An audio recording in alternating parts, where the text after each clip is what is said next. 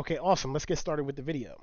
So today we're going to do a quick review of everything that we need to know um, to be ready for the uh, unit project that we actually have coming up, which is going to be creating an API um, with Express and MongoDB. Right, so we'll be doing that today. And um, in order for us to kind of get that going, I'm going to use something a little bit familiar. I'm going to change it up slightly so it's just not like an automatic answer to the homework. We're going to change up things just a little bit. And essentially what we're going to be doing today is using the uh, to-do application to build two models, a user and to-dos. And we're going to turn that into an API. And I'm just going to go through the pieces of the API as we do that. So right in front of us, you should be able to see on your screen, you should see um, a quick little um, um, diagram uh, that uh, pretty much maps out um, it pretty much maps out how an API works. And and so essentially what this basically shows us is a visitor coming to a website or somebody just making a request. So a request gets made by the visitor and that gets sent over to the Node.js server. Inside the Node.js server that we're going to have, we're going to have our Express application that actually manages the HTTP um, server. And then inside that application, what we're going to be doing is our Express application is going to be deciding when we need to talk to the database, when we need to get data from the database, how we send responses back to the user when we're all said and done. Um, and then in, and in certain cases, not today, but we might also have a template engine that makes HTML um, and actually sends that HTML back to the user. So um, with that said, let's run through this real quick again. So first, like we just talked about, let me just clear these. So like we just talked about, we're going to be creating an application that can listen for requests, right? So it can listen for those requests and those requests are going to come in the form of either a GET request, a POST request, a PUT request, or a delete request, right? There are other methods that can be used in order to talk to an API. They're not important for us right now when we're building a REST API, but we'll go over them a little bit later in the class. But right now, what we're doing is we're going to be either making a GET request, a POST request, a PUT request, or a delete request. Right? We're going to be making one of those types of requests. And a GET request basically is when the is when the visitor uh, just asks for some data. The key that I want to make sure you understand about GET requests is when you make a GET request, you do not change anything on the server. So you don't send any data, you don't you don't ask for anything to be changed, updated, any of that type of things. If you do that, then it's not a pure GET request, right? And you as the API developer are the one that has to enforce that, right? If you don't enforce it, then your API will just behave whatever way you tell it to behave. But you're not supposed to put that type of stuff inside the GET request. The GET request should only be the user says, "Can I get five to-dos?" They give you back five to-dos, right? They, you say, give me back one individual to do, you get back one individual to do. Now, post requests are different. Post requests can be stuff like logins and, and, and user creations, etc. But the key to mm, something being a post request is that you send data to the server, and you don't, and you might create new data, right? But you don't change something that previously existed you either you you just send data to verify something or you create something brand new that didn't previously exist. That is a post request. Now a put request, and sometimes you might even see us use a patch request also. So I'll put that here. Um, sometimes we might use this, but with a put or a patch, the key with either one of these is that you are making a change to something that previously existed. Now, the thought normally with the put request is that you kind of change um, change the entire thing that's inside the uh, database. Like you replace it with something with something new, right? But you put it in the same position, right? So you get rid of something and you put something new there. Now with a patch, normally you take one little itty bitty part of your um, of that thing inside the inside the database, um, and you normally change just a little small piece of it, right?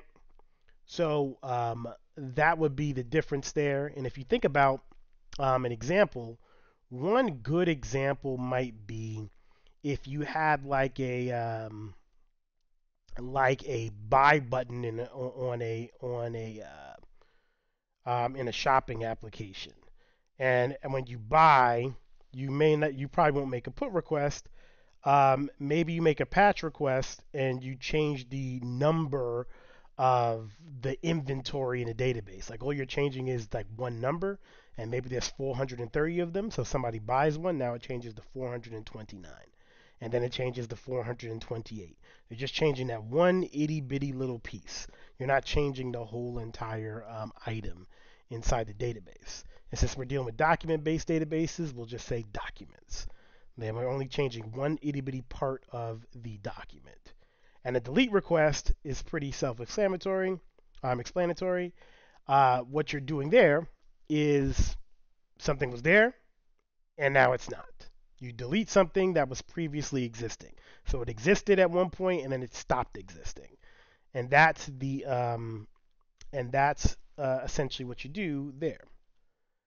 So that is um, what you are what you're doing in um, inside of an API. And what other thing that I want you to uh, to make sure that you understand, right, is that whenever you make a request, it has to be followed by a response, right? So you make a request, you have to make a response. So there and there can only be one request and one response, right, in the full request response cycle. And so we'll look at that a little bit closer. But essentially, once the user makes a request, right, that's the request that you're dealing with, right? The user makes that request. That's what you're dealing with. That's what you're working with, and you pass and then and then and then you pass that request around as much as you need to in your internal controller code until you're ready to send a response back to the person that made the request, right? So they make a request and you make a response. You cannot respond two times. You can only respond once. Once that response is sent, you cannot do anything else. That is also something that uh, that you need to see. So key, so so make sure that that is uh, understood. So um, with that said, now that we have those kind of like preliminary things down, let's put this into practice. And I'm going to keep this diagram up the entire time. And what you should be doing every single with every single word that I say, you should be cross-referencing this back with um, what you see up here on the screen. And one thing I'm going to do is I'm going to cross out this part here with making a template because we're building an API. And so if we build an API, we don't respond with any um, with any HTML. We strictly grab data, right? Get the data, maybe do something with the data, and then send it back to the person that requested it. We don't do anything here with the templates. That is only for when we make a server-side rendered application, right?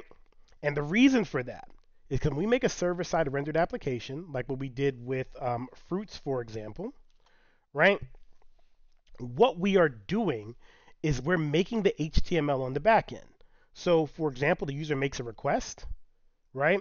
It gets given to Express, Express goes into the database, grabs the data that it needs.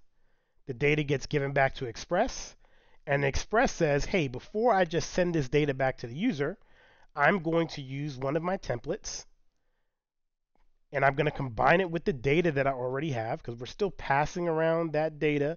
Express has it, carries that data over with the template, and then the template then um, takes that data, takes the template, and compiles some HTML, and then and then and then that's what we send back to the user, the HTML, because that's the only thing that users can understand.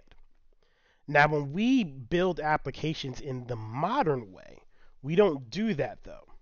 And the reason why we don't do that is because eventually in the next unit, so basically starting from July 8th and going forward, right, we are actually going to um, um, create applications that um, run separately from our APIs. And so we're going to build a front end and as many front ends as we want, right? And that front end is going to actually be um, what talks to the API. And so essentially what's going to happen is somebody's going to make a request. It's going to get given over to the server, right? Server's going to bring that over to Express. Express is going to go get the data that it needs, right? And then take that data, process it, do whatever it needs, right? And then respond back with that with with that data. Now the the difference here is that the way it's going to work is there's going to be a visitor and the visitor is going to be playing with the front end application, right? And the front end application is going to be what talks to the back end, right? And they are going to stay in communication with each other. And the reason why this ends up working well is because then I could this front end could be my could be a website. You could have another front end that people interact with like a mobile application, right? And we can go ahead and do that. Boom, boom, like so. And we can make a mobile application, and that also talks to the backend and stays in communication with it. And I started to see this uh, this format get more uh, get used more often once we started to get mobile applications and desktop applications. And the reason for that is because that mobile application and desktop application actually needs to be downloaded onto the user's device. So the server side rendered way can only work for websites, right? We don't even need it for websites, but it can only work in a website fashion. And the reason for that is because in a mobile application, somebody actually has to go and download the front end application onto their phone. And then that front end application has to reach out to APIs and stuff to get its data. But you can't, but you're not actually just talking to a website. You download the code locally onto you onto your onto your phone. And that's when we started, and also around that time, we started to stop using websites and we started to use things called web applications, which is what we're going to be building in Unit 3 which work the same way as a mobile application or a desktop application, except that you open up the application by going to a website. And what happens when you go to a, a, a web application is um, you really only request one single itty bitty HTML page that has some JavaScript code in there. And when that JavaScript code loads into your browser, your application, I mean, your, your, your browser you know, runs it and gets all of the and starts to do all the work it needs to load up the application and start running. An example of like a of a web application might be like Google Maps. You go to the Google Maps website and the web application loads up and starts running. If you ever played like a web-based video game, or um, or even the games that you made in Unit One would qualify as web applications. They just didn't actually reach out to a backend at all. Um, and one thing that you sometimes do with web app with with, uh, with these web applications is you actually might make them downloadable onto um, a uh, onto somebody's machine by creating a, a, service worker and doing a progressive web application. all that stuff is things we're going to talk about in the future. Um, but I want you to understand why we don't need why we don't need views, um, and why they're unnecessary for what we're trying to do. What we're trying to do here is do this stuff, right? So that we can connect any front end to these this API, and um, and then it can start to run and work. Um, and this could be a, and, and this API might be an API that you made yourself. It could be an API that you're just bringing in from somewhere else. It's going to still have the same architecture, right? It, re- it responds to requests, talks to a database.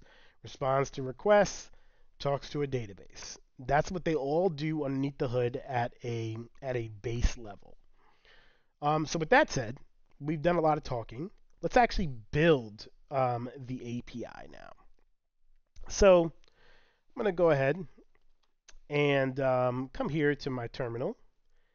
And I'm going to quickly come here and just, um, let's just quickly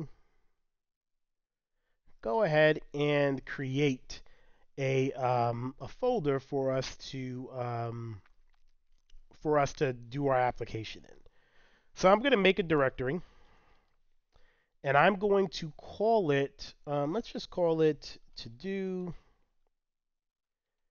um, let's say to do API example, right? So we'll do that and we'll cd into to do API example, right? And again, this is not the answer to the homework. We're going to do something different. Doesn't mean that it wouldn't help you do the to do homework if you haven't done it yet but I am not following along with the to do homework. I'm just showing you how to build an API and using simple to dos as an example, right? Then from in here, um, I'm going to go ahead and just start making the files I need. So I'm going to need a server.js file, right? I'm also going to need a, uh, let's just start with this server.js. Let's do an npm init dash y which creates the package.json for me. So if I do an ls, I should see package.json and server.js. And if I look at the server.js, I could either use less, which you should already have on your machine.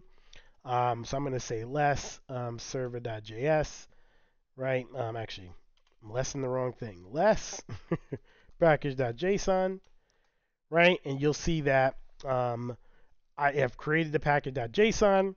The package.json has a test script, which will eventually change, a start script, has main server.js in there, etc.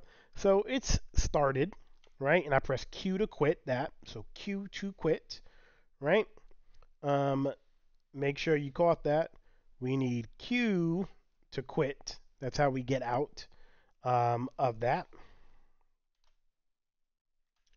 So now that we have created that, I'll go ahead and um, make it app.js. And the reason why I separated, whoops, what the heck? Let's see, ls, and I got app.js, no big deal. I'll just mv app.js to app.js. There we go. ls, problem solved. So I made app.js as well, right? Made a little boo-boo at first, um, but then went ahead and fixed it. So we have app.js there and server.js. And the reason why I have um, server.js and app.js is because I'm going to separate them so this way that I can test app.js apart from the server.js. And there's a bunch of different ways I can do that, but the simplest way is just put them in two different files. So that's what I'm going to do, right? Um, if you want to do it a different way, it's fine as long as you get it to work. But the easiest thing to do is just put one here, put one there, and then you don't have to worry about them colliding or anything like that. And I only want to, and I, what I only want to test the app.js and make sure it works. I want to test that unit, right? So, um, so we'll just keep those things separately. The other thing is, why didn't I touch both of the um, files up here when I uh, made server.js? Why I just make app.js also? And the reason why I didn't do that is just because I wanted there to be no question when I ran um, npm init-y that it would know that the server.js was the main file, right? If I would have made both, then it would have had to decide which one was which. And by default, I don't even remember which one it would have picked. But I want server.js to be the main file, so just so there's no chance for there to anything to go wrong, I'm just going to use that, right? And depending on which version of Node we have, I think it makes a different decision. If I remember correctly, like they changed which one they, the hierarchy of which one they would decide was the main by default.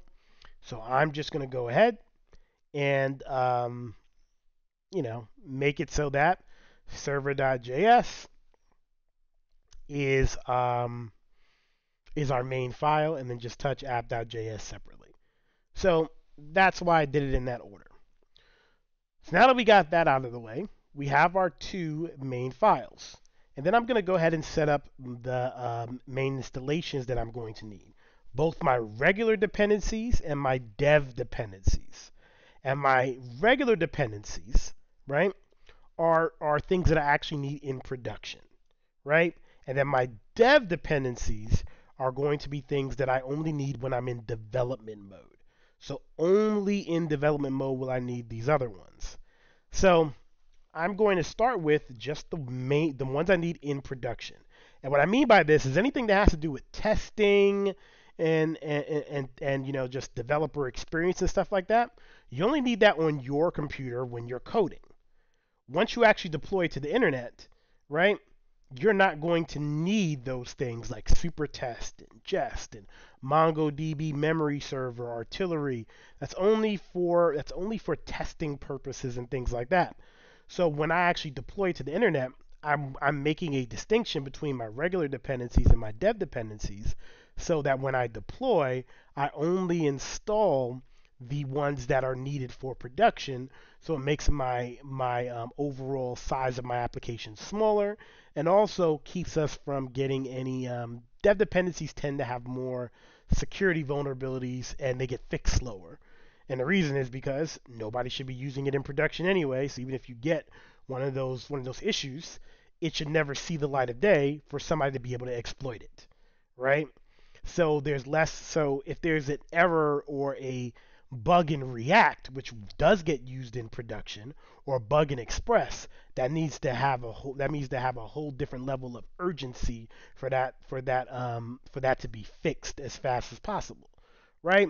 But if there's an issue in like MongoDB memory server or Supertest, the thought is, eh, we'll get around to it because that vulnerability should never be an issue because you shouldn't be running it anywhere where anybody has access to exploit it to begin with.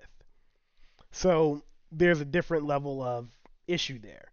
It's like, put it this way if the lock on your bedroom door doesn't work, you might eh, take a couple weeks to fix it because you're like, eh, it's in my house, right? But if the lock on your front door to your house is broken, right? You're probably going to fix that the same exact moment it occurs because you don't want people to be able to just walk inside your house. So those so those regular dependencies, right, are going to be exposed and available, and people can actually touch them, right? Um, so that's like the front door of your house. But like the dev dependencies are like your bedroom. Now you need to make sure your stuff works correctly in your bedroom, etc., but not with the same urgency. So that's the difference there. Um, and that's a very watered down difference, but I think you get where I'm going. So I'm going to install my regular dependencies first, and that's just with npmi. And I'm going to install install Express, which lets us create our HTTP server. I'm going to install Mongoose, which allows us to talk to our MongoDB database, right? I'm going to use .env, which allows us to hide our environment variables, right?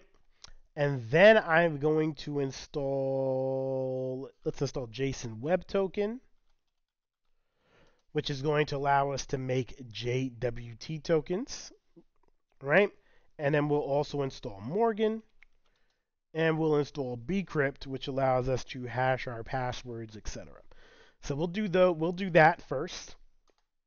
We'll do those installations. express mongoose .env, right, etc., etc.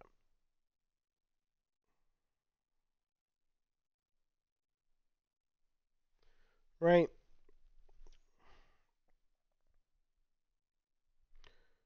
Let's see. Let me fix that. sudo n, and let's say uh, sudo n 14.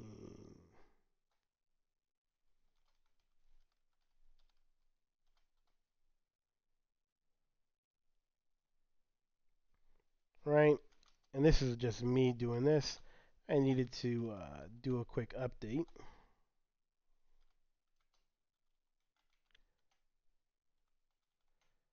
No big deal. Because this is telling me that I'm using 14.17.6 on this machine. I haven't used this. I haven't used this computer that I'm on right now in a long time, right?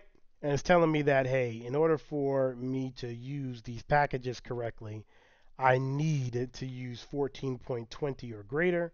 So I upgraded to the bare minimum version that I can upgrade to, 14.21 um, so that I can do that instead of jumping up to like 18 or 20 or something.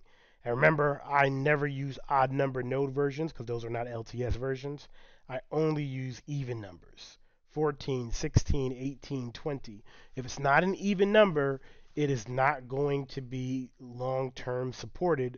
So I'd advise against you ever using a node version that starts with an odd number. So if you use an even number, you are safe and they will keep upgrading it for many, many years. Um, and you can always look at the Node.js um, website in order to um, in order to see that um, what that is. So with that said, I'm going to go ahead and run npm i again, which will just repeat the installations that I've already done because now they're in the package.json file. I didn't get rid of package.json. That would be bad. I got rid of the package lock so I can get rid of any references to this node version, right? So that's what I did. And so I'm going to go ahead and npm install um, those those real quick. And those should get installed. And you see they installed without the warnings because now I'm on a compatible node version. So that's all done. That shouldn't be anything you have to do yourself, right? Now that um, I am, have done that, I'm going to do the same thing, but now I'm going to add the dash dash save dev flag, right? Which essentially is going to tell it that these are all going to be dev dependencies. So I'm going to put jest. I'm going to put Supertest, right? We're going to need that. What else do I need? Let's get the MongoDB memory server.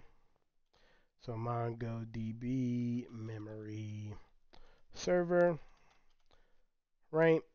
Um, and let's get artillery. And let me get at 1.79 because I want that stable version. Uh, is it 1.7.9 or 1.7? I think it's 1.7.9 pretty certain that's that's the case. Right?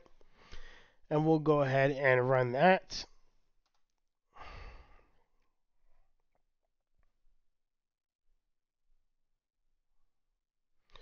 Telling me to don't use one version one, but we're going to do that anyway because to my knowledge they still haven't at the time of this recording they have not made the updates to 2 that would that would make it um, make me okay with using it currently. And those are all internal updates. The way you use it doesn't really change.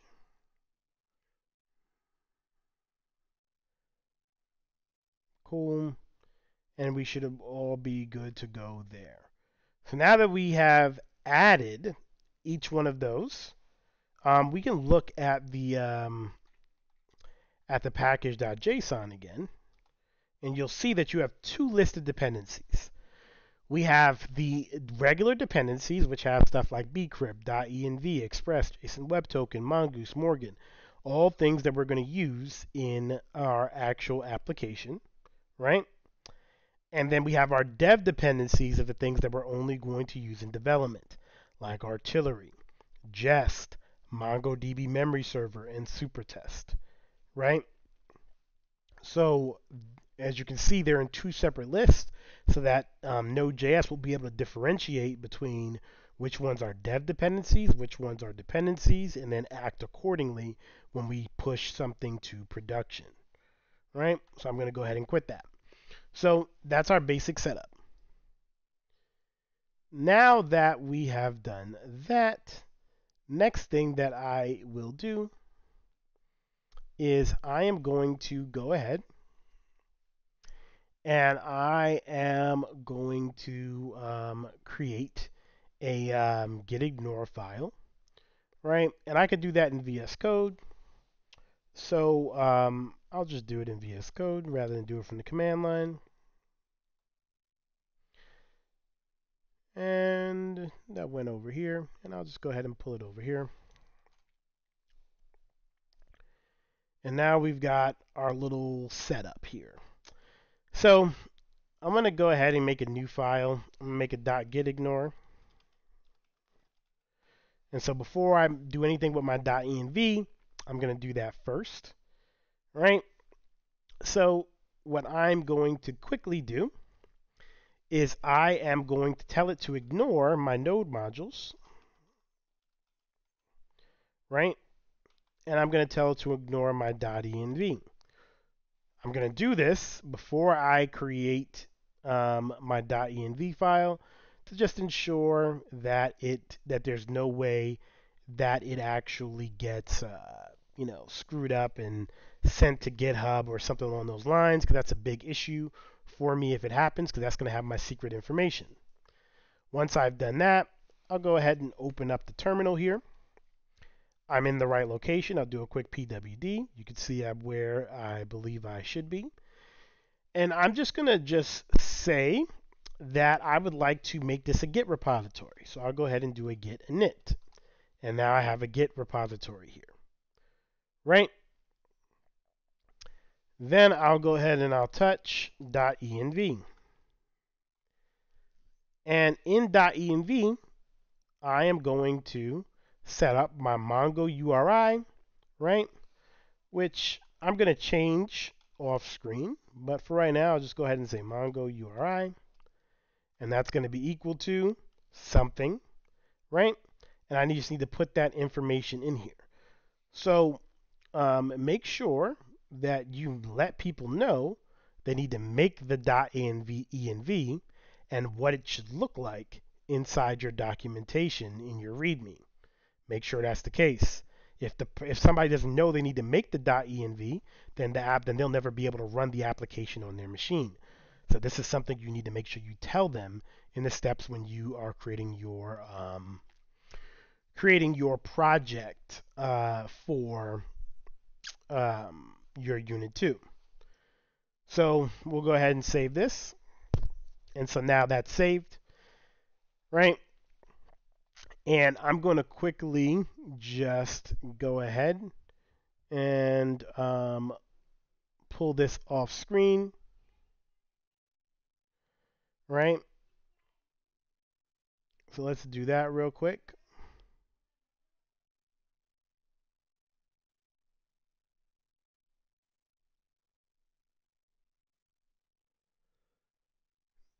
Another thing I'm going to do, actually, before I even do that, so I'm also going to let you know that I'm going to create a secret. I'm not going to tell you what it is either. Secret's just going to be a really, really long string of characters, right, that I'm going to get from a SHA-250, SHA-250, a SHA-256 hash, right, that I'm going to put here. So pick your favorite word and make a SHA-256 hash. If you don't remember how to do that, all you got to do is go to some SHA-256 generator, right, this one right here that pops up all the time is fine. Put in some words you like. Boom, boom, boom. You will get some um, SHA-256 hash back, right? Copy that hash, use that as your secret. Just make sure this word here is a word that you that you know, right? Like something that you're going to remember. If it's not something that you're going to remember, you're not going to be able to recreate the hash should you forget it. So use a word um, that that you remember, save it somewhere, um, and you'll do this like in a kind of like nonchalant way because you're just doing it for yourself on your machine. But your company that you work for, when it's generating these things, you probably won't even be the people generating it because your whoever is in charge of security will probably generate those things and give you these give you these type of things whenever you are um, whenever you need one. Um, or they'll have some way that you're supposed to store it um, in a secure location um, using vault storage or something like that um, you know for your company. So your company will have some way to maintain these secrets. But when you're just doing stuff for yourself you've got to figure out your way. So you can just save the word in 1Password or or um, you know uh, you know uh, what's the other one? 1Password and the other ones that are like 1Password that like are password storage mechanisms that you can use. You can even store them in secure files and things of that nature. There's a lot of different ways for you to do it, but just keep in mind you do need to keep um, access to the secret. So like I said, just make a quick SHA-256 hash, copy it, and paste it in here. That's all you got to make sure you do. But just make sure it's it is a SHA-256 SHA-256 hash, because if it's not, it's not going to work properly. So keep that in mind. So with that said, I'm going to quickly come here and I am going to put my Mongo URI and my secret in my .env. I'm doing this off screen so you cannot see because I don't want to share it with with you. Um, no offense.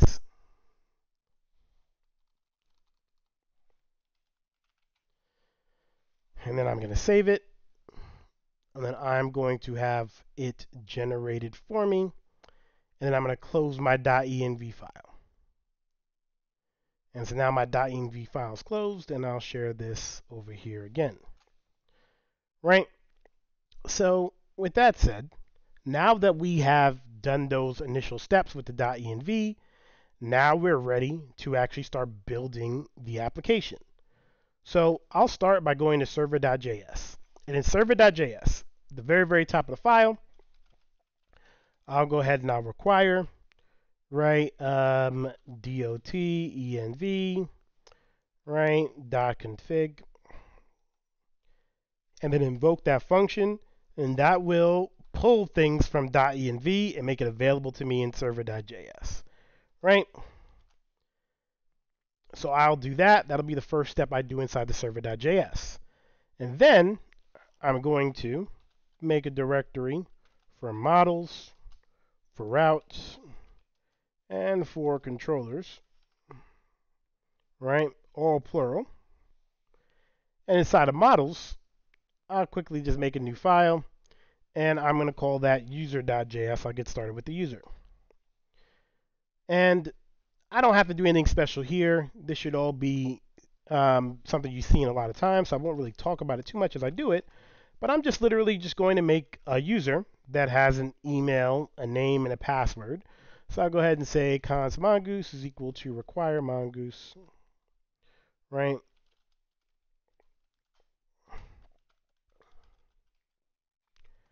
I will say const um, bcrypt is equal to require, and we'll require bcrypt, and we'll say const jwt is equal to require JSON Web Token, and also we're going to require dot env config.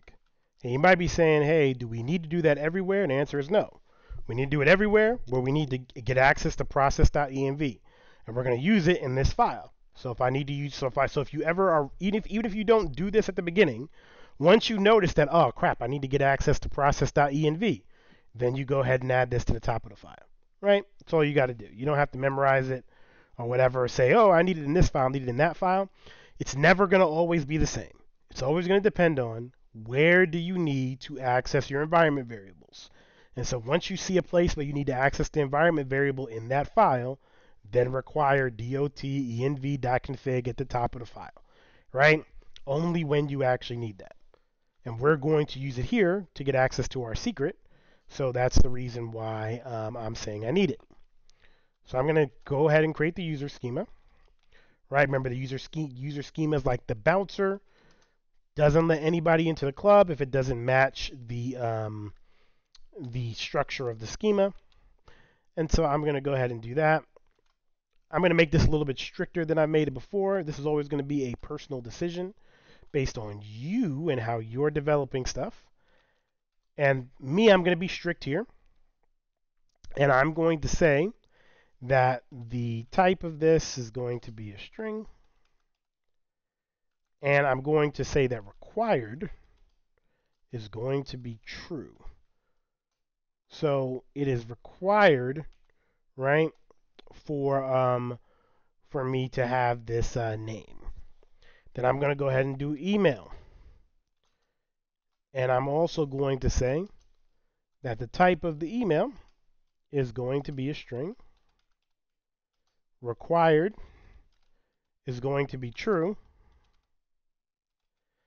But then also I'm going to say that unique is also true meaning that I can only have one person with the same email. I can't have two people that use the same email.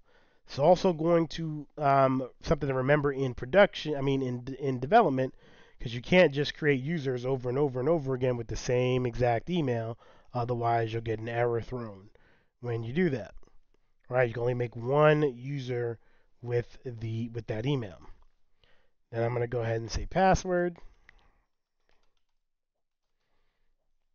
and I'm going to say the password. It's also going to be a string.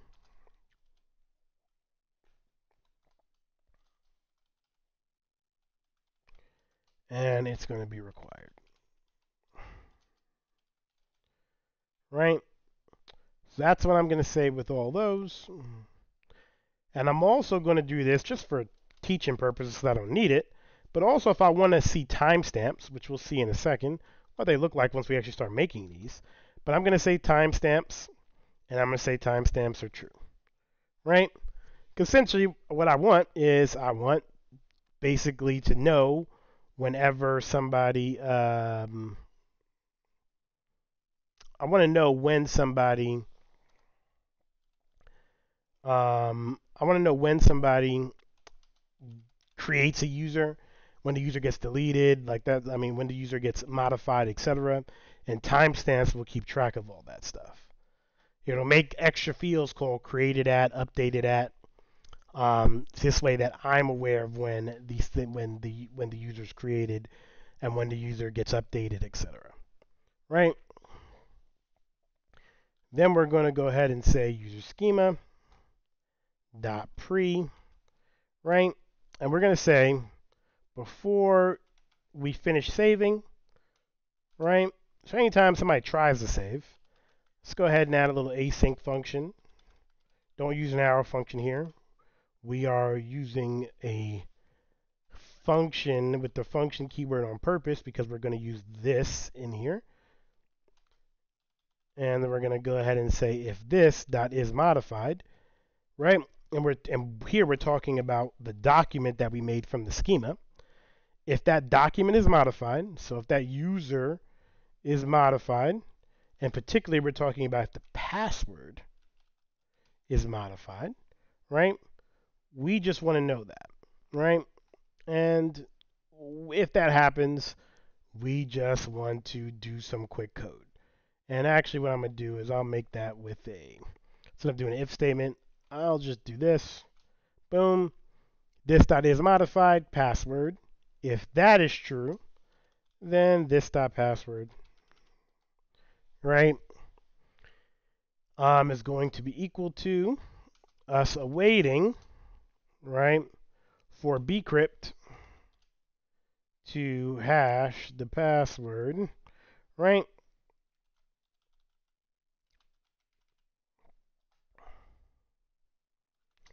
And we'll use eight salt rounds right?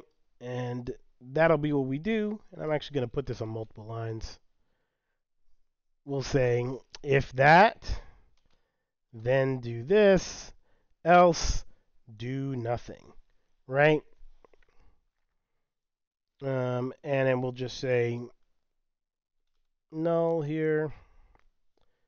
And we'll put, basically, we're not going to do anything.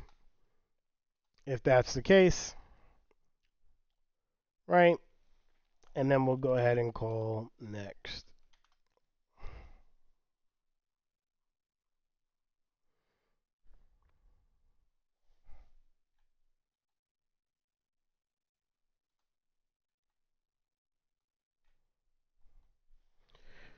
Right? So that's what we'll do there. Um, and that's just real quick. And then uh, we could also add a model. I mean, another uh, function real quick to the to the uh, to the actual model itself. And there's a difference between these two. I want to make sure this is super clear. So I'm going to say user schema dot methods, right? And we're going to say dot generate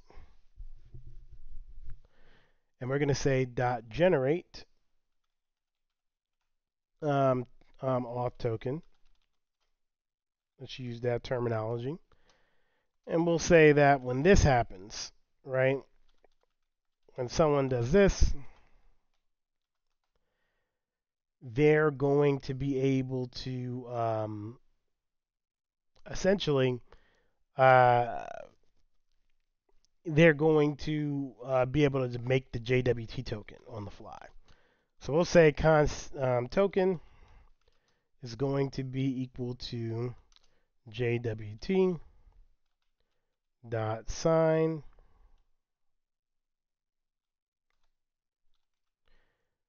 and we'll say um, what will we what will we put in the document? let's just say ID and this dot ID. It's we'll, we'll we'll just only do that. Because that's good enough, and then we can use that always to look up the um, to look the person up, and then we'll sign it also with the secret, which will be process dot env dot secret. Because we also put the secret in our dot .env, not just our um, not just our uh, Mongo URI. And then we'll return the token. Right? So we'll just quickly do that. So now we have this um, generated. Um, like we have we have our schema set up and generate auth token is basically going to work on you know any um, any document that we get back we'll be able to call generate auth token and we'll be able to generate a token for that um, document which will be a user right? And remember document is just what we call things that are stored in the da- database. And you can see when i hover over it you can see that we uh, the user schema right? Mongoose.document, etc. I won't super break that down right now, and not to make it too complicated. But at the end of the day, um, we're going to eventually generate um, individual documents um, by creating new users, and those are going to be the documents that we find out of our database, right? Those little objects that are in the database that represent users. Those are documents. And we want to say that whenever one of those documents gets saved, right, we want to check and see did we change the password. If we change the password, go ahead and um, re-encrypt the password. Um, and also we want to have a method that we can call whenever we need to make a token. So we don't have to redo the token creation logic over and over again. So we can always check and see whether or not the token is um, the token is valid or not. So that is going to be something that's going to be helpful for us. And then we can add any other methods that we may think of that we might need. And we can add methods to any schema that we create. It's just that these are the methods, this is just what we chose to add to the user schema. And then what we're going to finally do is we're going to go ahead and create the user model. I'm going to go ahead and create the user model. And I'm going to say mongoose dot model, right? And I'm going to go ahead and say user. And I'm going to say user schema. And then I'm going to module dot exports is equal to the user. Right? And then save. So there we go. Now we have our user model. Next thing we're going to do is we're going to go ahead and look at and create our to-do. So I'm going to go ahead and make another new file. And I'm going to make to-do.js. Right? And in here, we're going to do the same thing. I'm going to do a little destructuring just to make things a little bit faster for me. I'm just going to go ahead and say I want the model and I want schema. Right? That's the only thing I need from Mongoose. And then I'll say equals require and we'll require Mongoose. Right? And we'll say cons to do schema.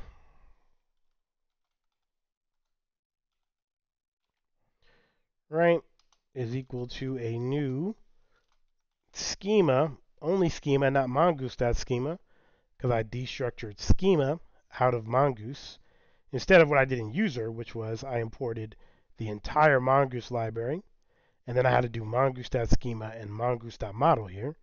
But since I destructured it, destructured model and schema, I'm only going to have to write model and schema in the rest of the file. So I'll go ahead and do that. And I will say I'll create a new schema. And in this schema, um, we'll go ahead and we'll say the title. And we'll say the title required true. And I'll say type string. And then I'll also go ahead and say completed. And we'll say type and we'll say the type of completed is um, do we want boolean or string? I'll go boolean. Let's say boolean. And we'll say required true.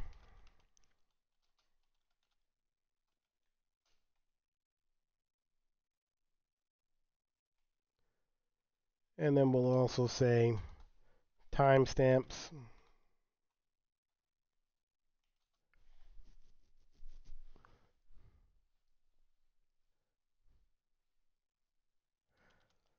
and we'll say true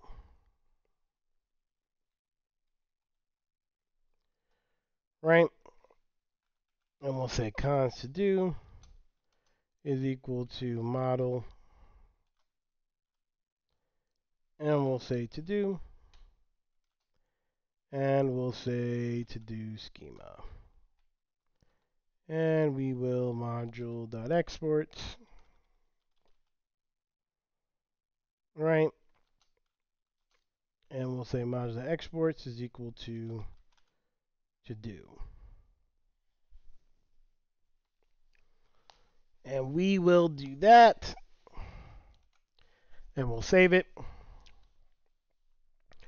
And we'll also do something here. And what we're going to do here is we will say user. And we'll say the user is going to be, uh, let's say, type is going to be schema dot types dot object ID and we'll say required true. And what this is going to do is this is actually going to allow us to say every time we create a user, right? We're actually going to create, I mean, every time we create a to-do, it's going to belong to a certain user. And I'm also going to go to the user.js and I'm going to do the same thing. I'm going to go ahead and say to-dos. going to make it an array of mongoose, let's say type, is going to be mongoose dot schema dot types dot object ID. I'm not going to require it, right? Because when I first make the make the uh, make the list, I'm not going to have any to dos yet. When I first make them, when I first make the user, the user creates an account, they don't have any to dos yet. So I'm going to start with that, and then I'm going to say that for the to dos, um, I'm going to say the ref is going to be to do. And that ref essentially is going to be pointing to this actual string right here. And that's going to tell it that we're referring to this collection in the database. So this thing inside of, inside inside the um, inside of the string and that ref there have to match, right? So make sure that that is the case. They have to match. And we're also going to go ahead and make a ref on this one for user. Right? And boom, now these two things are related to each other. So now we need to make our controllers. Right? So we can start, well, we just need some functionality for, I mean, we need basic functionality for each one. Um, the user controller is pretty pretty simple. We don't have to do anything crazy here. Um, I'm going to go here to user.j, I mean to uh, controllers, make a new file, call this one users.js, and I'm simply going to just say const user is equal to um, dot dot slash is equal to require right? And let's say dot dot slash.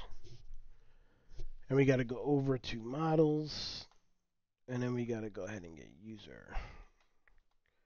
And then we're going to say const bcrypt is equal to require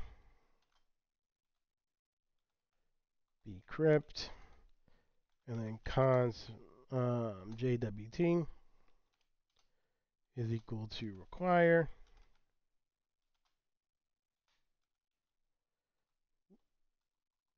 JSON web token.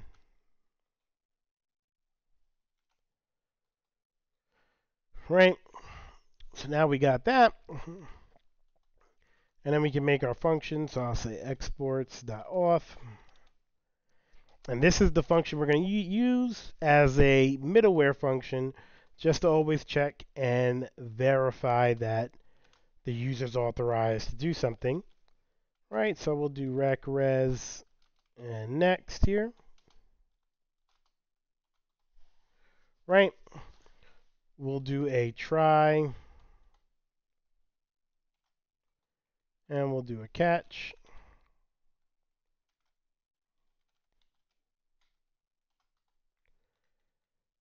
And we'll essentially say here that the token is going to be equal to rec.header. Right?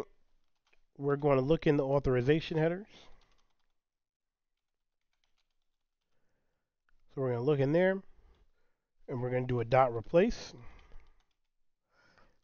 And we're going to look for the bearer token that should be there. We're going to look so we'll look for the word bearer space and replace it with nothing so that we only get to the actual token. We're going to say const data is going to be equal to jwt dot verify and we're going to use this to verify the token So we're going to verify token, right? And we're going to use process dot env dot secret to verify the token. And because we had to use process.env dot secret, we realized that, oh, Arthur, you know what you need? You need to require dot env dot config because we want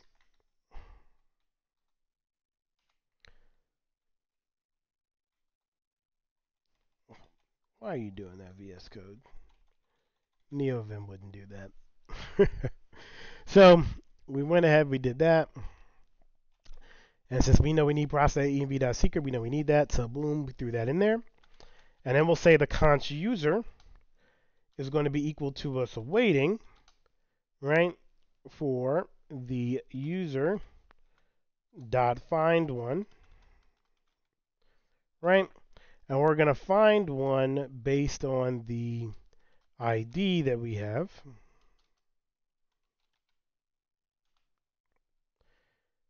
And we're going to say data underscore ID.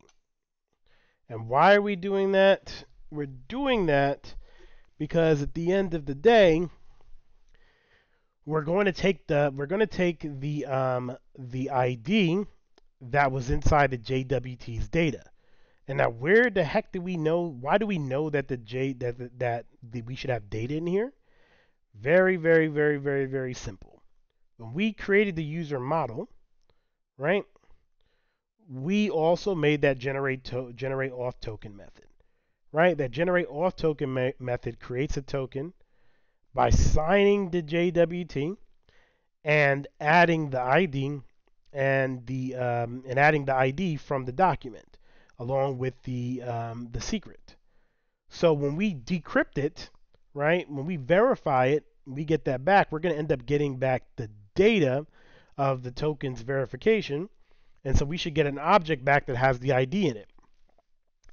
It might have some additional things inside the payload, which is why we won't just take data and just drop it directly in here.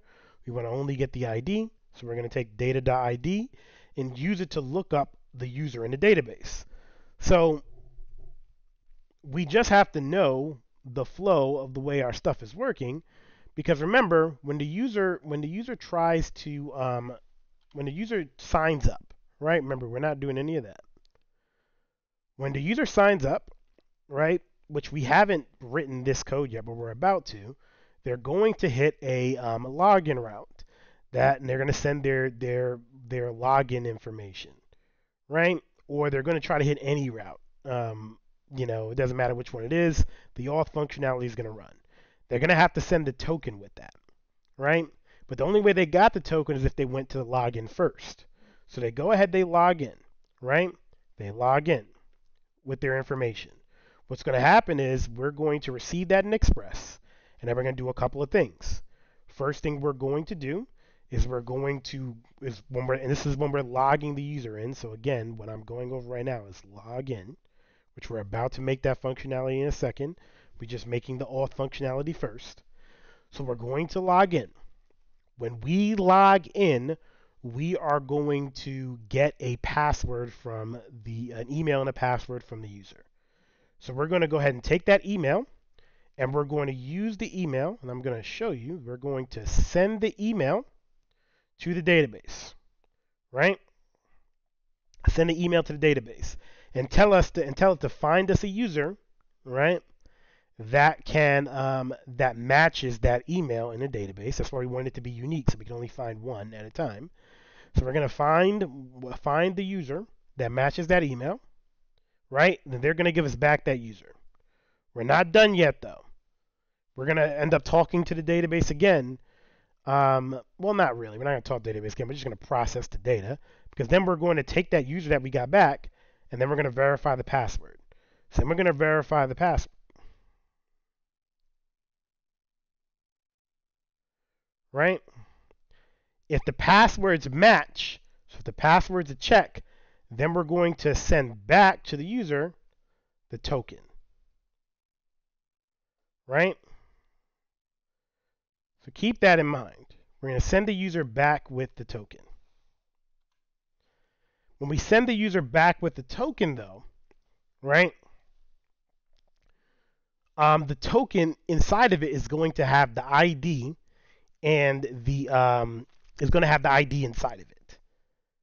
So when so when the user so when we're when we're running the auth middleware, we're actually checking that token to verify the token is valid when the user gives sends us a new request, but they send it with the token, and their token is their way of saying that I'm authorized to do this. Check my credentials. So we're verifying those credentials, and we're going to, and when we do this jwt.verify, it's going to return to us back whatever we originally scrambled up inside the token. And we're going to use that data, right, to find the user when when that's all said and done. Right? If we can't find if if, if we can't find the user, so if there is no user, so we can't find the user, then we're going to go ahead and throw an error. And a matter of fact, I'm just going to go ahead and say not user, right? Question, right? Throw, right? Throw new error. And we'll throw a little error message in there that says um, couldn't, let's say, couldn't find um, user. Right? Or bad credentials. Let's just say bad credentials. Bad credentials right? Couldn't find the user.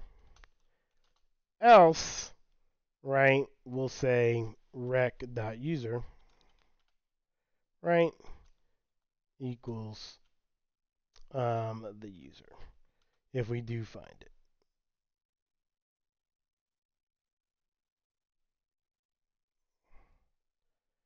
So you throw a new error,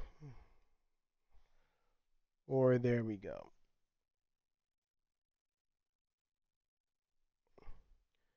So that's what we will do there. We'll either see that, hey, the user is, um, the user is, uh, we'll either do that or we'll do that. Right, one or the other. Let me group that because it seems to be giving it an issue. That's just VS Code thing because it's definitely not an issue with the code.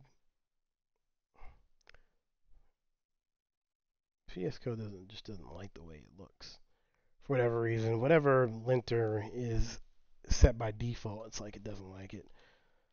Just so VS Code doesn't keep doing that, because I don't like looking at red squiggly lines.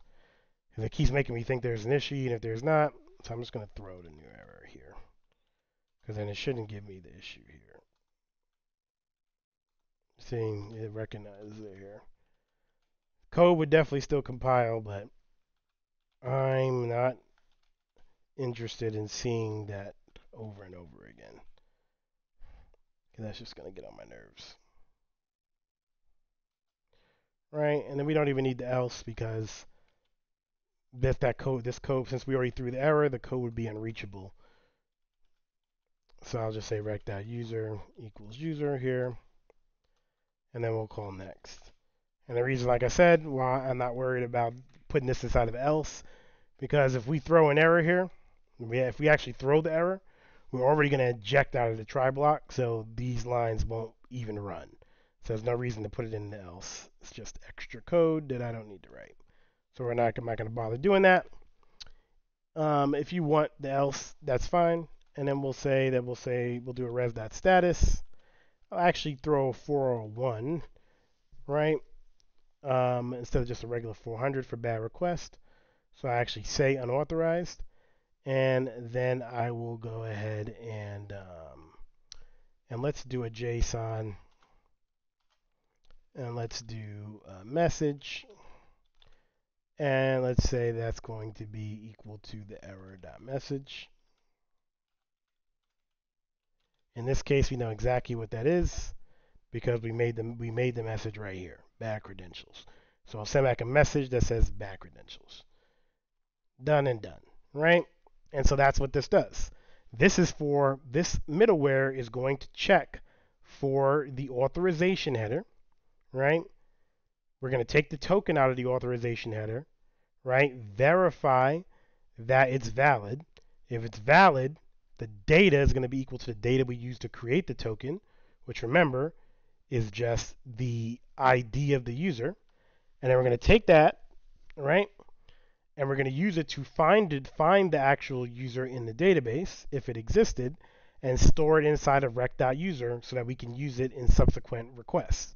I mean subsequent uh, functions. So that's what we do there. The other ones are pretty simple. So for example, we'll do exports dot.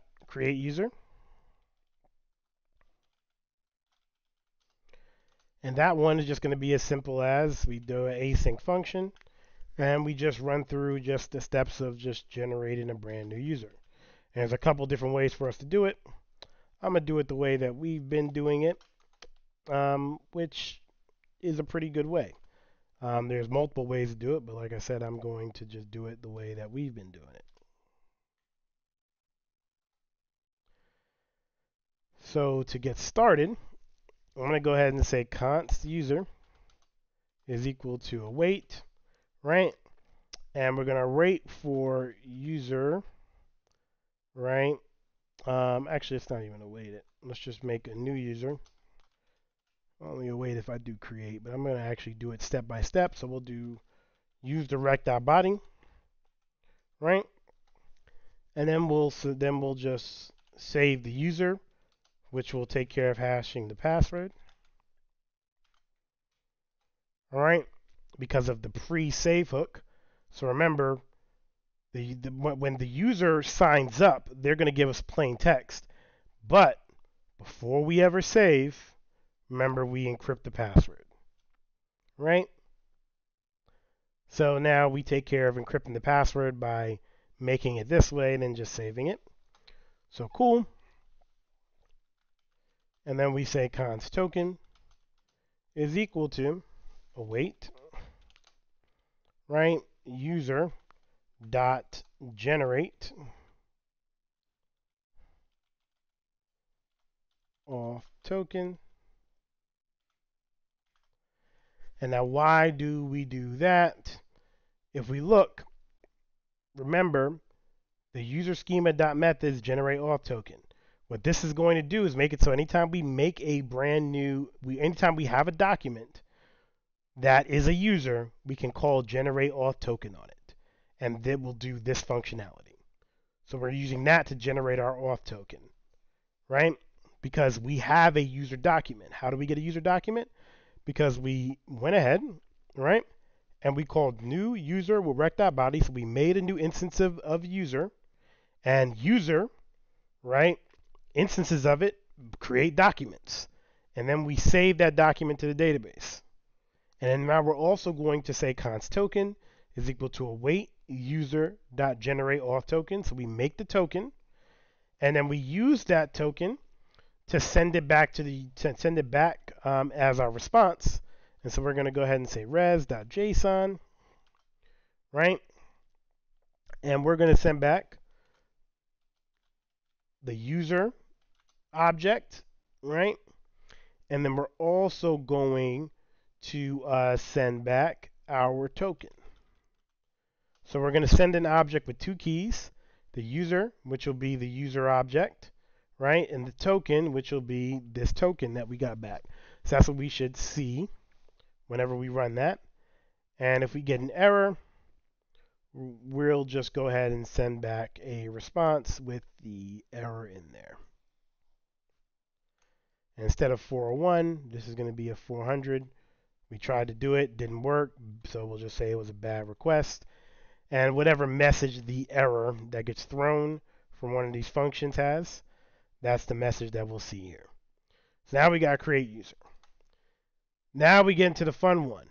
The one we drew out here, which is the one that's mm, maybe the hardest to wrap your head around. I think creating a user is simple. think about it. Let's uh, we'll come back to creating a user. Just we'll just run through it one quick time. But all it is is user gives us the the data that we need to make the user. If they gave us the wrong data, we'll throw an error and then we'll send back a bad uh, like a bad request. But they give us the right data, we'll make a new user document. We'll save that document to the database. We'll generate a token and we'll respond with the user data and the token, right, back to the front end in JSON format. Simple enough as it is. We make we that we get some data from the user from the person that wants to make a new user, and then we save that data to our database and send back that and send back that saved data back to the user. Really, really simple there. The login is also simple, but you got to make sure. But, but but understanding the login means you understand how everything works. Because understanding the login requires you to think about how somebody's going to use the route. Because it's not 100% clear just from the code. You need to understand, and most of you do because you've logged in on websites before, what happens when somebody wants to log into a website. What do they do? They enter in and their credentials and they try to see if they can get access to what they believe they should have access to. So that's what we're going to do here. We're going to say const user right, is going to be equal to await, right, user dot find one, and we're doing the first step. We're going to try to see if we can find a user with the email because we're going to be looking up the um, we're going to be looking up the user in the database via their email address right? So when they log in, they're going to type in their email and password and try to log in. And then we're going to say, we're going to look up rec.body.email because that's what the user sent us. We're going to use that to say, hey, does a user even exist with that? Now, if, right, and this one I actually do want to use an if statement, we don't have a user, or, right, we try to await, right, for bcrypt dot compare right and we compare rec dot body dot password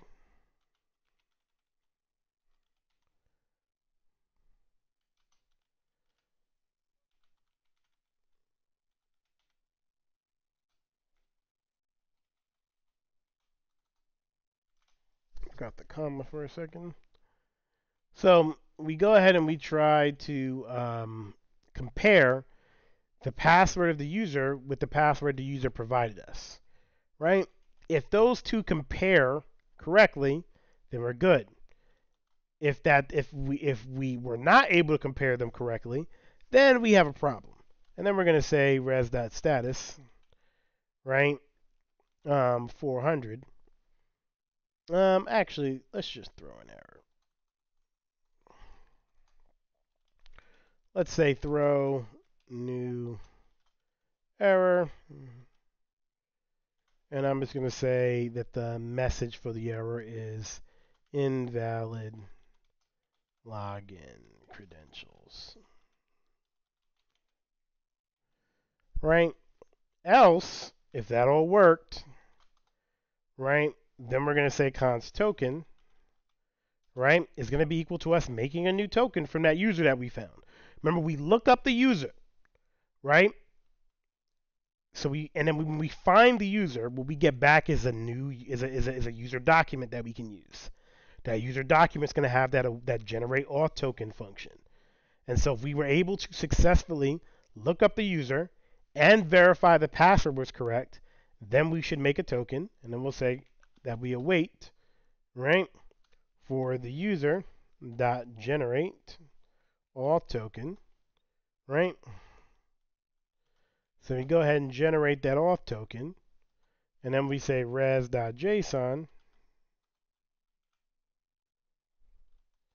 and we're going to send back the user and the token.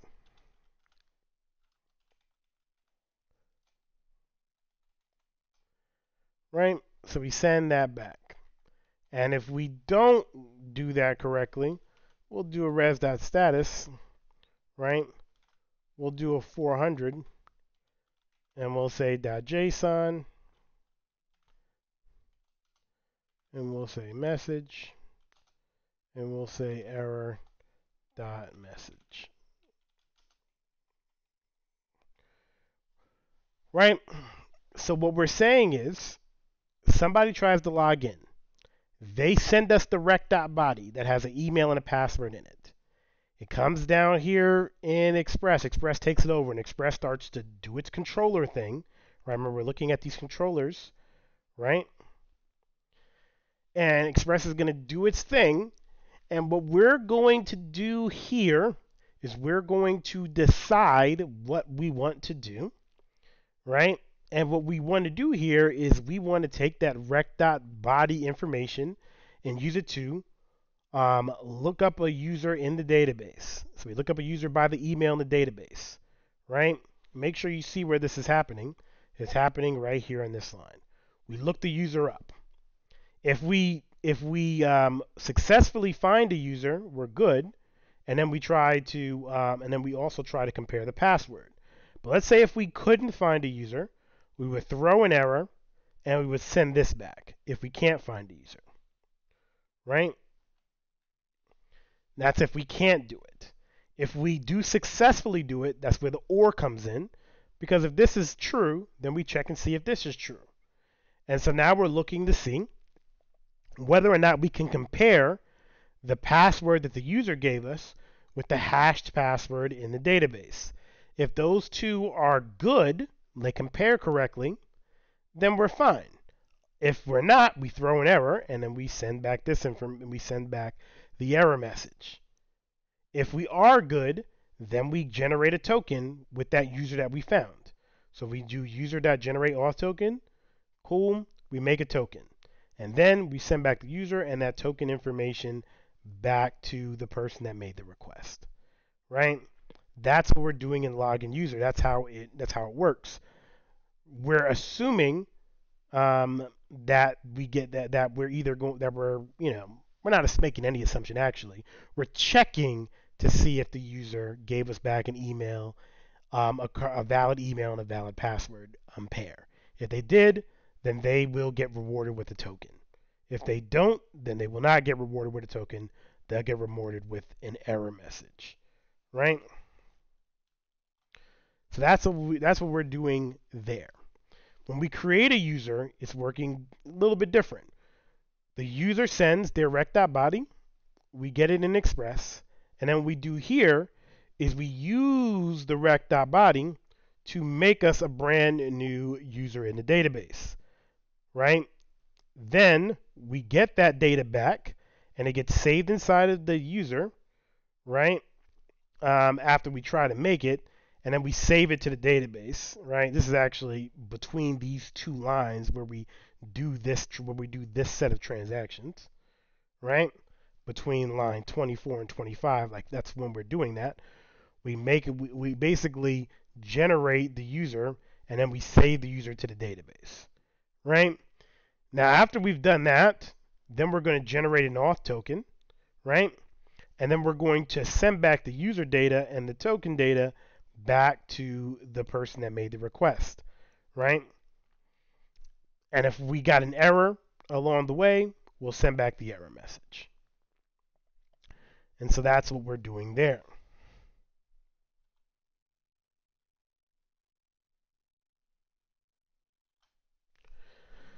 So now that we see how to create a user and how to log a user in, now it's up to us to go ahead and, and update and delete a user.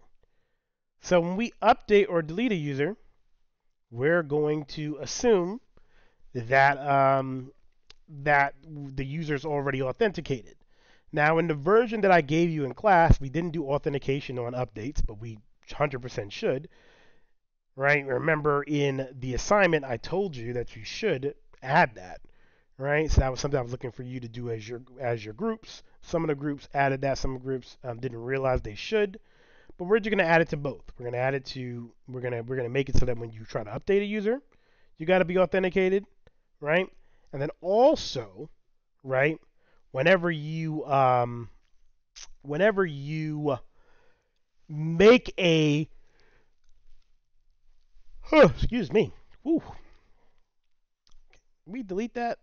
Um, but whenever we um, whenever we create a new user, we're going. I mean, whenever we update a user, we're going to have to be authenticated. Whenever we delete a user, we got to be authenticated. We got to make sure that only the right person can update or delete themselves. So let's start with update a user. So I'm going to go ahead and say exports um, dot update user.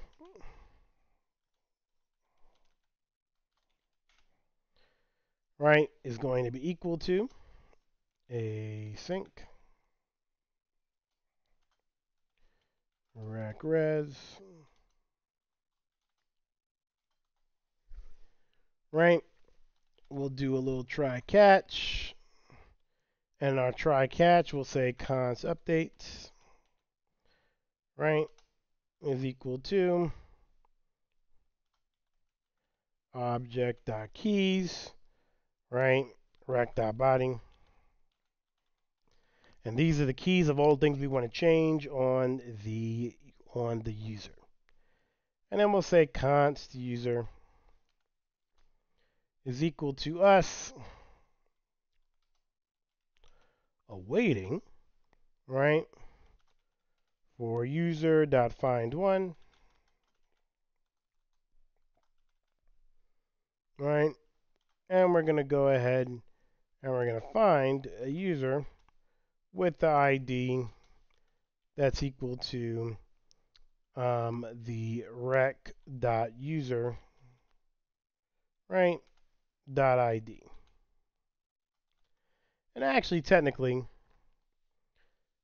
since we already know what we want to up, since we already know the user we want to update, we can get around actually looking looking it up. So we're not even we're actually going to skip that part because if we're going to use the rec.user anyway, we don't need to. We only need to do that if we need to use the rec.params to find the user, but we can make an optimization here and not do that. So we're going to say for every single update, we're going to go ahead and take the rec.user, right, the user we have saved, from auth, because when we do our routes, we're going to call auth before we call update because you need to be authenticated. So we'll already have authenticated the user and found the user, right? Remember, that's what we already do here. We find the user, right, that was inside the token, and we're just going to go ahead and quickly say we're going to update rec.user, right, with that particular update data. And we're going to make it equal to rec.body bracket update. Now remember our rec.body is going to be an object that has a bunch of keys in it, right? All the stuff we want to update on the user. What we are saying here is we're going to make an array of all the keys. Let's say that the person updated email, name, and password right? All three. So then we'll have a we'll have an array of email, name, and password, right? And then what we're going to do is we're going to call for each on that array, and we're going to say for each particular thing on the user that we want to update, we are going to take the corresponding key in the user and change it for the new data inside of rec.body. So, for example, if rec.body.password was new, then we're going to change rec.user.password to be whatever rec.body.password was.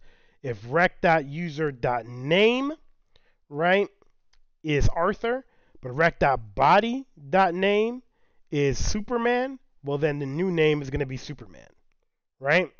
So we're going to do that for each one of the updates. Then when we finish that, we're going to await for us to save that user. rec.user.save. Save that user. Right? And then after we save the user, we'll do a res.json and we'll and we will respond with the user data. And we and um, keep in mind we're sending just the user as the as the data. We didn't send the user inside of another object, so it's not so it's not going to be response.body.user. It's just straight up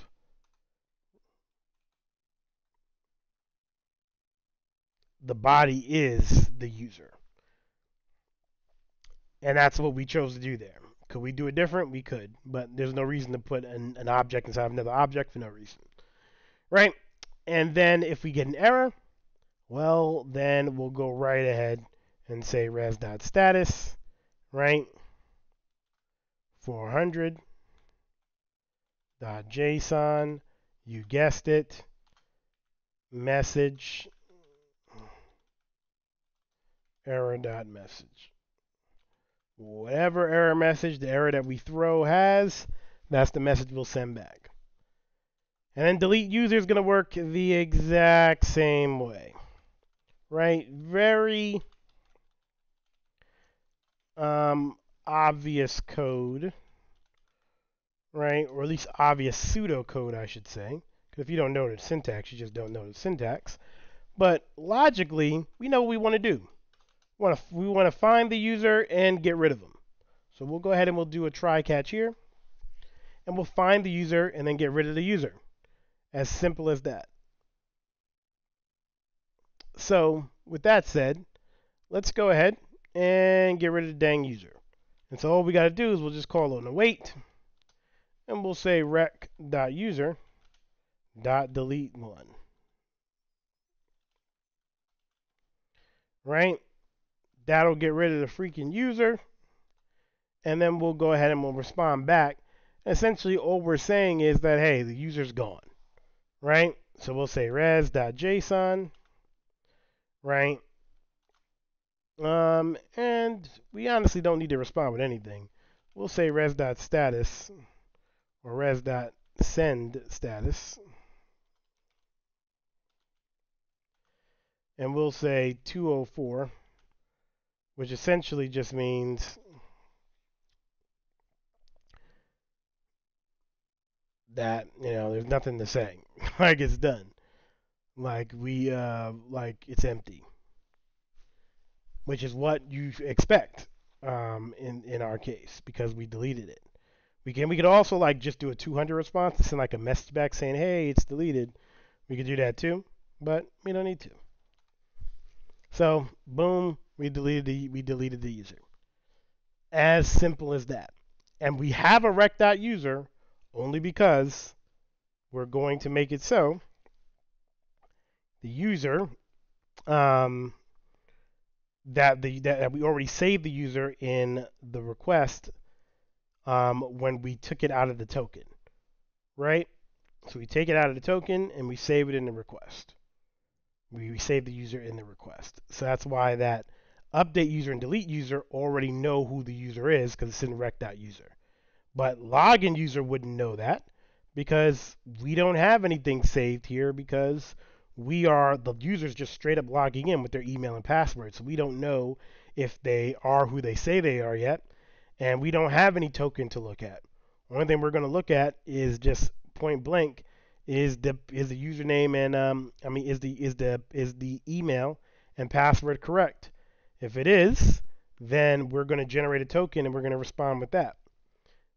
And that token is what we're going to use whenever we run auth, right? We're going to take that token, verify it's good, get the get the um, the data out of it, and then use that data to look up the to look up the user. And if I can find the user, then I'm going to go ahead and save the user in rec.user and then do the next thing I want to do, which is either update the user or delete the user. Done and done. And voila, user controller done. Now let's look at the to-do, the to-do controller. Right? So let's go ahead and make a new file. To-do.js or to-dos.js. Let me rename that. It should be plural for the controllers. And here, we're not going to do anything special. I'm going to go ahead and I'm going to say const to do is going to be equal to me requiring that to do model that I'm going to need. Right? And I want you to keep in mind that um, that the to do um, is going to um, you're only going to be able to do stuff with to do with an with an authenticated user. So we're always going to know who rec.user is. Keep that in mind. So we're going to make an assumption that we always know rec. Dot, um, we're always going to know um, how can I say?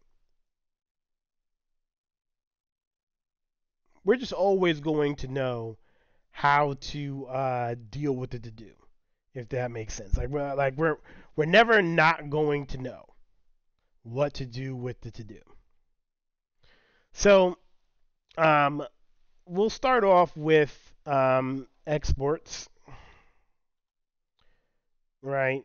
Dot create, and we'll go ahead and we'll say that we're going to make a async function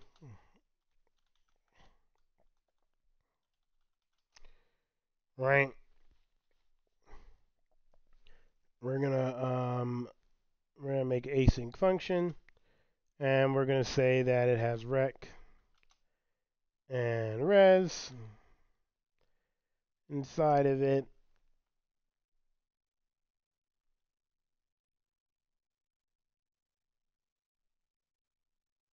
Yeah, let's just do it like that. Let's not make it more complicated. And then we'll say try, we'll say catch, and then we'll say const to do is just going to be us um, creating a new to do. Now keep in mind, like I said, we always know who rec.user is. So I'm going to go ahead and I'm going to say await, right? And I'm going to do a couple of things, right? First thing is um, I am going to assume that I can get access to, right? Um, that I can get access to the to-dos um, user um, in a simple way. So I'm going to go ahead and I'm going to say um, rec dot body dot user is going to be equal to um, is going to be equal to um, rec dot user dot um, id underscore id and then I'm going to do a to do dot create right? Instead of using the new because I don't need to call to do dot save. So I'm just going to do that and I'm going to call rec dot body right and this is just a shortcut to do a lot of stuff we're doing before. The only reason why I'm doing why I did it the other way before, where I actually went under the hood and actually take the extra step to say new user and then save the user, is so that I can get my automatic functionality here to always work, where every single time I save the user, I hash the password, right? I don't need any functionality like that, so I'm just going to use the create method that does all the steps for me, right? And so I'm going to create that to do with that user from rec.user.id there. And then um, after I do that, I'm going to res.json the to do. And if I get an error, I'm going to res dot um, status 400 dot json message and um, error dot message. Right? And so we'll do that. Then we'll say exports right um, we'll say we'll we'll, say um, uh, we will do another function for um, for show. So we did create, right? Let's do um, show. And we'll say export exports.show. And we'll say async function rec res. And we'll essentially say here that what we're trying to do is we're just trying to find an individual to do. So we'll go ahead and we'll find an individual to do.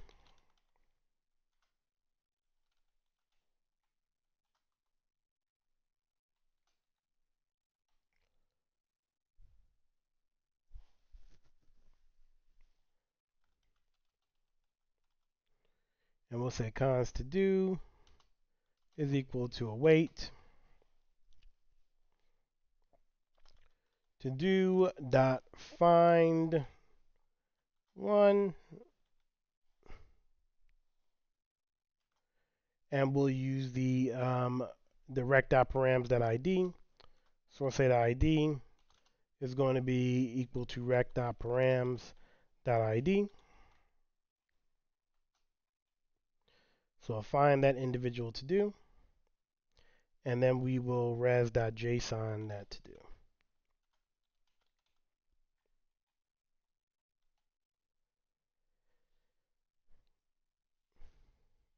And we'll do a res.status here of 400.json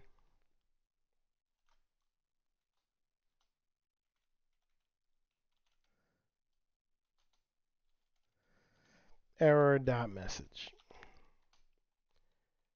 That's all we need there for that. Um, so now we can see an individual to do. And then we're going to need two separate indexes, right? And the reason why I wanted two separate indexes, because we should have an index for whether or not we want to show complete to-dos or incomplete to-dos, right? So we'll have a list, and we're going to say exports dot index complete,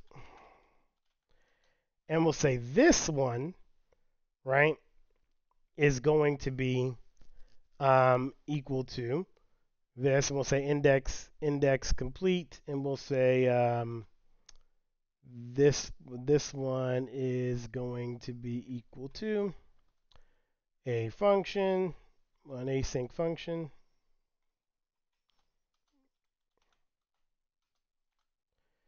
We'll do rec, we'll do res. And for this try catch, we'll essentially say we're going to do the same thing. As a matter of fact, I'm about to be lazy I'm, you know, we're typing a lot of stuff over and over again. It's going to be basically the same thing as this, except for I'm going to get more than one to do. So instead of to do dot find one, we're going to do to do dot find, which will give us back an array. Instead of worrying about the ID, because we don't want to find a list of things with the same ID, we want to find things where the completed is true. That's all. It's completed true, then then we're good. And that's what we want to be in this list. And then we'll do the same thing for this next one, which will be exactly the same, except for, um, let me actually change this to to-dos. Even though it won't change, won't matter if I do that, just so it reads better. If I name those variables whatever I want. And then we'll say index not complete. These are arbitrary names for the functions. You can name them whatever you want to name them. I'm just saying this is my index of complete to-dos. This is my index of not complete to-dos. The only thing that changes here is this will be false. Right? So completed to-dos, incomplete to-dos. Right?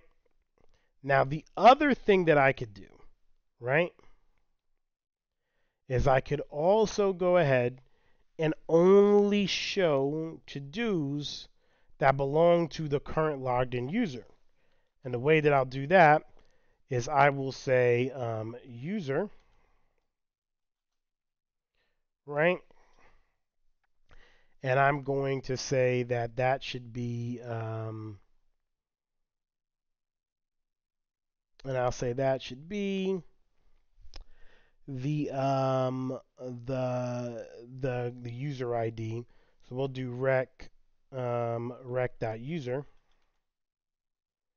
dot underscore ID, and we'll do the same thing on the other one as well.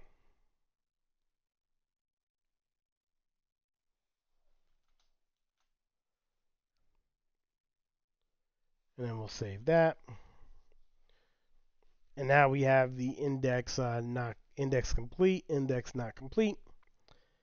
And then we can also um, um, update it to do. And all we want to do with the updating it to do is we're really just going to uh, basically say, you know, just update it to do, like at the end of the day. And this also because we're not worrying about um, saving um, by hand. We're just going to use the built-in method. So we'll say exports, right, dot update is going to be equal to async function. And we'll just quickly say that this is going to be the same as the other functions if you haven't caught that by now because we're not doing anything special here. We're just going to use the built-in functionality. I'm just going to say boom, boom, boom. And instead of find, we're going to say find one and update. And then we're going to say that's going to be an individual to do though. So we're going to say find one and update. And and the and the things that you put in here is slightly different, like the arguments that you give it.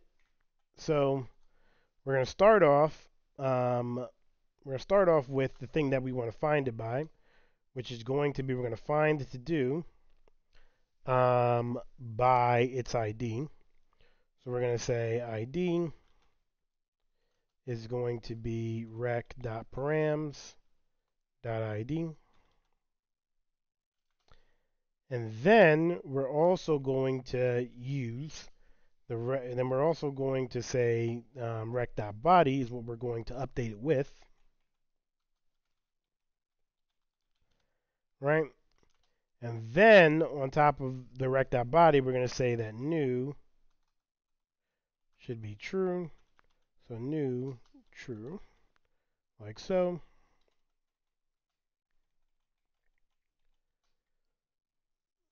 Right, so that we get back the new to do. And then we're going to send back the new to do back to the user. And if we get an error, we get an error. So that's what we'll do there. And then finally, we'll do the same thing for delete.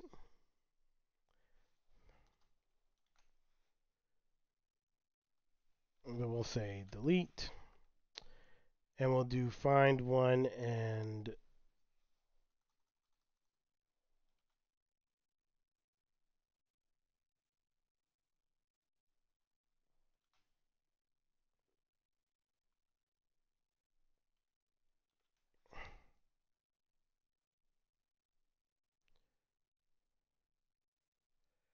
right? Boom, boom.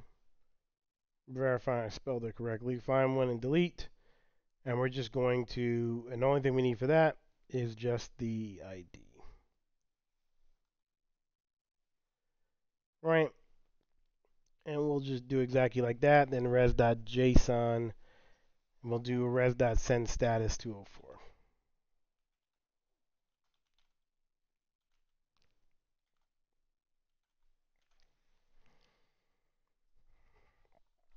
Boom. And so now we have all that functionality. Now, one thing before we move on is you see that we created the user, I mean, created the to do with the correct user. But remember, the user also is going to need to get updated with its to dos. So, with that, so since that's the case, that's why I want to go ahead and make one additional tweak. And we're also going to import user to only using that one location. So we'll say user is equal to require. And I'm adding this because I realize I need the user. You don't have to have it memorized what you need and what because it's going to change from time to time when you start relating things together. Just know, hey, I need to use the user model. Well, that means I need to import it then. Right? So we require it at the top so I can use it. And the only thing I'm going to do here is I am going to take the rec.user, right? And I'm going to say um, rec.user dot to dos, right? If I have to dos, rec.user dot to dot add to set right? And I'm going to add the um, ID of the to do we just made. So I'm going to say to do dot underscore ID, right? So we're going to go ahead and do that. And then we're going to say else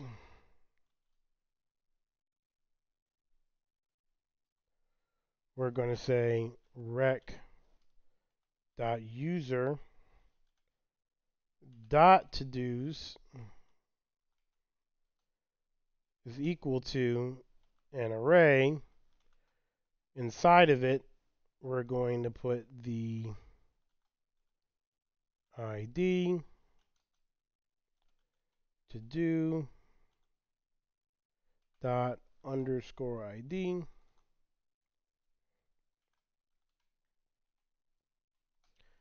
like so. And then we're going to say rec.user dot save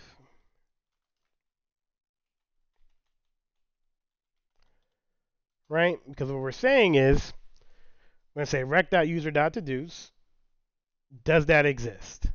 If it exists, then just add the new to do to that to that list. If for some reason it doesn't exist, make a brand new array and drop the to do dot underscore ID in there and then do a wait rec dot user dot save no matter what because then we need to save the user and then send back the JSON to do. Right? So that's what we're going to do there if we create create a brand new user. And that's the only tweak we need to make there to keep them connected to each other right? So now we have this connected, um, we got this connected joint now. And now let's go ahead and make our routes. So I'm going to make a new file for users.js and make another one for um, what is it called again? Um, to-dos.js.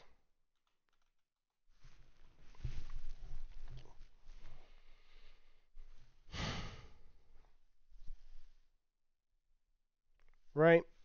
So that's what I'm going to do now. So let's go ahead and see what we can get there.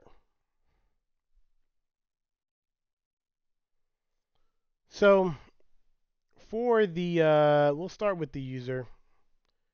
User routes are fairly simple. Not really much, not really much to say about them we're just going to go ahead and, um, you know, we're going to say const um, express. And, all, and we're just requiring express because we're going to need it in order to make our router. So we'll require express, right? After we require express, we're going to create the router. And we'll say express dot router right? And um, and I'm gonna pause right here because it's not really any educational information here. I'm just gonna drop it in here and talk about it. So let me just go ahead and type this up um, and do the same thing for the to-dos and I'm gonna show you how they connect just so this video doesn't get too too long with just me typing. I'm pretty sure you're can skip through me typing it through anyway. Cool. So now we have the um, the um, routes made for users.js and for todos.js. Essentially, for each one, what we're doing is we have just a quick little thing here. So for to-dos, you see that we that we're going to have a slash to-dos route. It's going to require the user to be authenticated, and then you will be able to get the completed the the, the completed to-dos, right? Um, and the, the not completed to-dos, right? And then we'll be able to get the completed to-dos here, and then we'll be able to delete a to-do here, and update it to do, create a to do, show a to do. Remember, we're always going to call the auth functionality first to verify the token and find the user, and then do the to do action. And then for users, we're going to do we're going to be able to allow the person to create a user and log in a user without authenticating themselves first because that's the purpose of those two routes is to create a user and then authenticate the user. So we can't ask for auth on these two because there's no way for that to happen. So these routes would just not work if we did that. But whenever they want to update themselves or delete themselves, they'll have to be authenticated first. So that's all we're doing with those. And then um, what we're going to do now is we're going to just go ahead and set up our app object, right? And our app object is essentially just going to be another uh, quick thing that we add in. I'm going to go ahead also, and for the app and the server, I'll just talk about them in a second, but I'll pause the recording, drop them in app and server.js, and then talk about them briefly. But um, it's really quick there as well. And this video is already going pretty long. So now we have our to-dos, right? Um, and our users. Um, we have both of our routes uh, mounted here right? So now when we go to slash users, we'll be using the user user routes. And then when we go to slash to-dos, we'll be using the to-do routes. And then we connect that over in our server.js here, where we just import the app, right? And then we use the app to listen for the server. And we also connect with Mongo with, with MongoDB here as well. So now that we have that running, we can check and see if we have any typos. Um, I'm going to go to package.json really quickly, and I'm going to add a dev script, and I'm going to say dev, and I'm going to tell it to run nodemon. I'm not sure if this machine has nodemon installed globally, so I'm going to do uh, sudo npm i-g nodemon.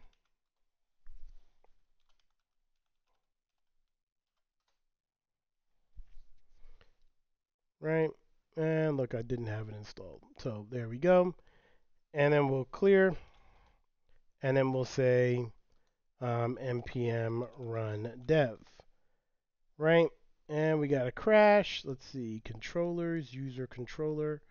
Oh, because uh, we didn't just, we didn't, I mean, user controller inside a control is kind of redundant. Um, I think some, sometimes I do that when I'm teaching, but I don't really need to do that, and I forgot to change it like that there. But we should leave it the way it is. At the end of the day, inside the routes, I need to fix that. So let me go here. And let me just say users. Here. Save, and that's going to be the same thing inside the user route itself. Let's say users.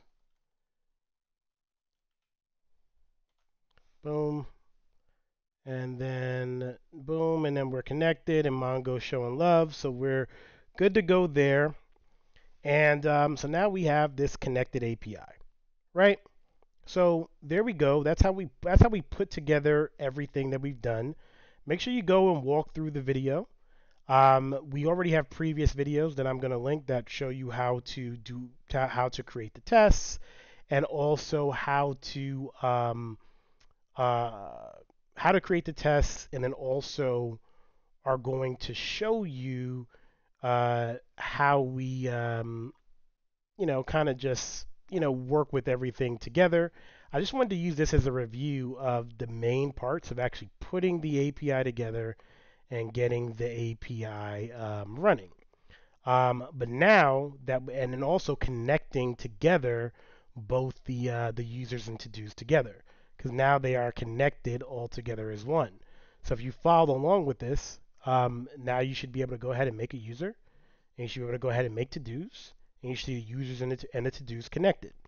Um, and then that's how you'll know that you have followed all my steps correctly.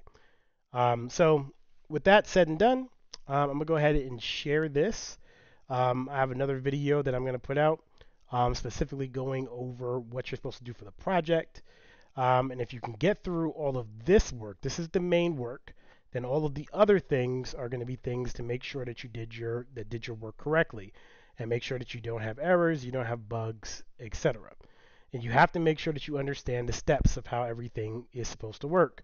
So for example, with the to-dos, if I was to go to, um, let's say, uh, let's look at Postman real quick. And we'll just do a quick thing really fast, right? I'm going to go ahead here again. I'm not going to go through this part slow because this I'm going to assume that you know how to do because you should have already because we have videos for this and I'm going to link them. But I'm going to go ahead and, cre and create a user. So I'm going to go ahead and say http colon slash slash localhost colon 3000, right? And I'm going to say slash users, right? Which is what I'll use to make a user. I'm going to make this a post request, right? So it's going to be a post request. And I'm going to create a user with an email, a password, etc. And so I'm going to make an email. And I am going to say that the email is going to be uh, a at a.com. We'll just make that one to start off with. We'll make the name AJ and then we'll make the uh, password. I'm dope, right? We'll say I am dope. And then we'll go ahead and try to create that user. We'll send it, and then boom, we get a user, we get a token back, right? So we created the user. Now we'll try to go ahead and copy that and I'm going to now try to go ahead and make a new to-do. So we'll say to-dos, right? And then I'm going to go over to authorization. I'm going to say bearer token. I'm going to go ahead and drop that bearer token in there, right? So now the bearer token's in there. We're going to go to the body and we're going to, uh, I need to remind myself actually what is the uh, the model for to-dos look like. Um, we need title and completed, right? So we're going to go ahead and say, um, let's just say title, and we'll say hello. and we'll say completed. And we'll say true. Right? And then we'll go ahead and send that and you see now we created a brand new we created a brand new to do with hello with true with the user and this is the ID of the to do and this is the ID of the user that we actually created so voila like we have this working and we can go through each one of them, but you just go through these steps and verify that everything is working the way it's supposed to work. Right? So all good to go there. This video's been about two hours. I'm to stop it here and we'll have some other videos to follow up.